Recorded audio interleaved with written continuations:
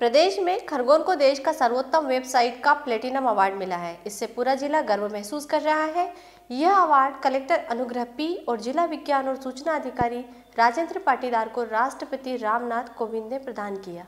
राष्ट्रपति भवन में कार्यक्रम के माध्यम से प्रदेश की राजधानियों में भी इस तरह की कार्यक्रम किए गए।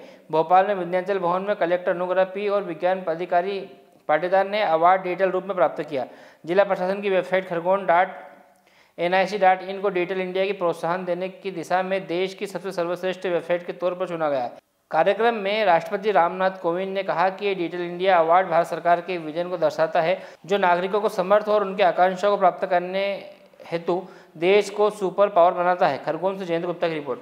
डिजिटल अवार्ड आपको मिला है क्या कहना चाहेंगे इसको लेकर? जिस तरह मेहनत की गई इस पर। करगोन डिस्ट्रिक्ट वेबसाइट का बेस्ट कंटेंट के लिए नेशनल अवार्ड की डिजिटल इंडिया अवार्ड मिला है।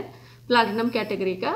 इसमें जो है हमारा डीआईओ राजेंद्र पाटीदार और सभी डिस्ट्रिक्ट लेवल ऑफिसर्स ने बहुत मेहनत किए हैं उसका कंटेंट जो है अच्छे बनाने के लिए।